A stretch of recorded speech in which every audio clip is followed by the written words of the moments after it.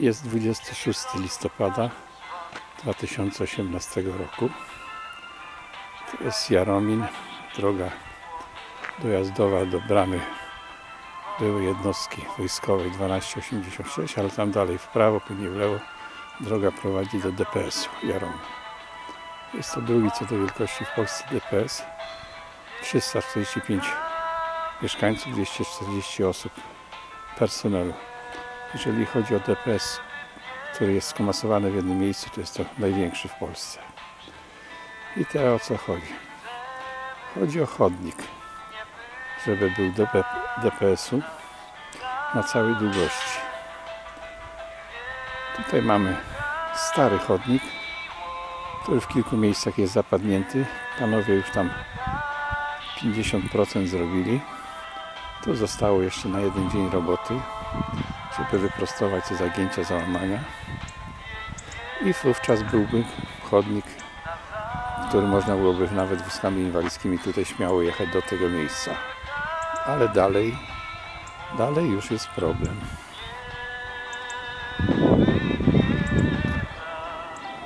Bo oto jesteśmy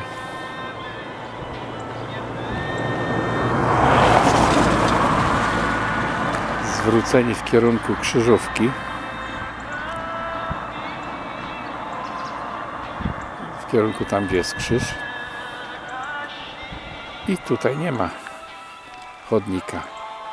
Mieszkańcy muszą iść drogą. I jak jedzie jakiś samochód, uciekać. I teraz chodzi nam, żeby wykonać tą pozostałą część. I teraz tu są dwa warianty, dwie propozycje. Pierwsza propozycja, która była pierwotnie omawiana z panem burmistrzem Domańskim, z panią dyrektor zarządu dróg, panią Sołtysiek, to żeby zrobić prosty ten odcinek do samego tam krzyża. Pan burmistrz powiedział, że chciałby przyjechać na miejsce z panią dyrektor i ze mną, żeby zobaczyć osobiście jak to wygląda. Teren pobocza 2,80 m należy do drogi. Dalej już jest teren wojskowy, czyli nie ma problemu, żeby wykonać chodnik. Najlepiej byłby to chodnik gdzieś 1,5 metra szerokości. I tutaj chcielibyśmy, żeby nam gmina w 2019 roku wykonała to, żeby ujęła w planie budżetu na 2019. No jest nowa rada gminy wybrana. Będzie na dniach zatwierdzany budżet. Więc co? Zwracamy się do pana burmistrza, do pani dyrektor i do powiatu, jeżeli chodzi o materiały. Jeżeli by gmina nie miała, żeby nam przeznaczyli wykonanie tego odcinka chodnika. Tutaj ta pierwsza część jakby, która by się ciągnęła dotąd. I teraz właśnie są do rozpatrzenia dwa warianty. Jeden wariant to jest ten prosto, który tam leci. Tam nie ma przejścia przez drogę. Poza tym mieszkańcy DPS-u Jaromin najczęściej chodzą do sklepu. A jeżeli już potrzebują do miasta, jeżeli chcą bezpiecznie przejść, to żeby poszli właśnie tędy, wzdłuż bloku, tam jest zaraz przejście na chodnik i dalej do miasta. Natomiast tutaj, no to muszą iść drogą, przez drogę przechodzić, nie ma przejścia, czyli przechodzenie przez drogę niezgodne z przepisami. W związku z tym propozycja, żeby nie robić w tym tego wariantu prosto, tylko zrobić wariant bardziej oszczędny i bardziej praktyczny, to żeby pociągnąć ten chodnik tutaj. Czyli od tamtej zatoki, gdzie kiedyś był przystanek, tutaj pociągnąć chodnik tutaj dalej. I następnie mamy tu przejazd, przejście przez drogę. I mamy tutaj chodnik starych płytek. Starych płytek, który wymagałby tutaj przełożenia, wyprostowania. Ten odcinek, tu jest na długość to jest 33 płytki 33 płytki na długość. Płytka jedna tam, ile ma 30 cm, no to można sobie wyliczyć, jaka to jest długość tego starego chodnika.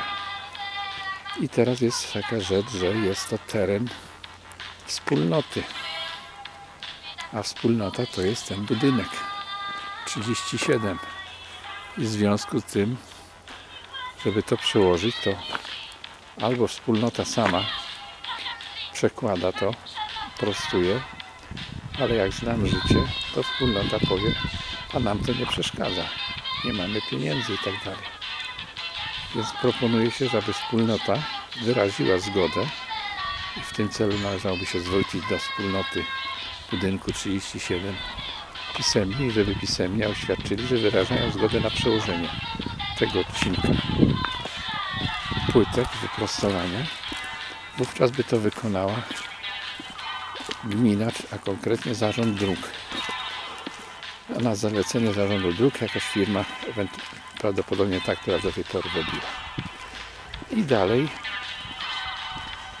już koniec. Tu byłoby postawienie tak zwanej kropki nad i. Czyli byśmy mieli od TPS-u Jaromin porządku chodnik aż tutaj do sklepu i do przejścia. O tutaj wspólnota sobie zrobiła dobry chodnik, jak było ocieplanie tego budynku.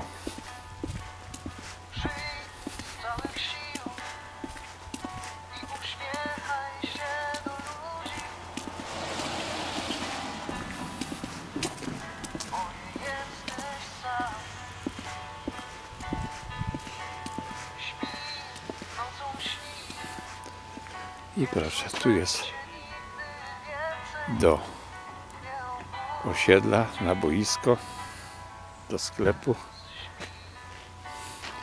A tutaj byłby przejazd. Ewentualnie tutaj by trzeba było ten odcinek zrobić jeszcze. Te 3, 2,5 metra położyć jakiś, żeby można było połączyć ten chodnik z tym chodnikiem, bo tam są schodki, czyli byłaby bariera architektoniczna, co prawda jest tam zjazd dla wózków dziecięcych, ale nie na wózków inwalidzkich, tam można się wyłożyć. Tu, w ten czas tutaj jest połączenie. Proszę, przechodzimy do chodnika. Ktoś chce do miasta. Przechodzi w miejscu bezpiecznym przez jezdnię zgodnie z przepisami.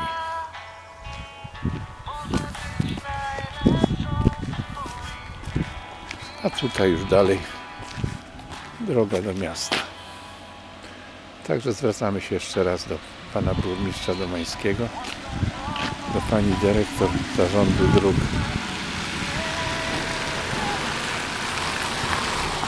pani Sołtysiak. Proszę Państwa, no potrzebujemy już niedużo, naprawdę. Te 50 metrów tam chodnika z Polbruku, około 50 metrów i około gdzieś 15 metrów przełożenia chodnika tego przy budynku numer 37 z płytek. I po problemie. Zróbcie nam.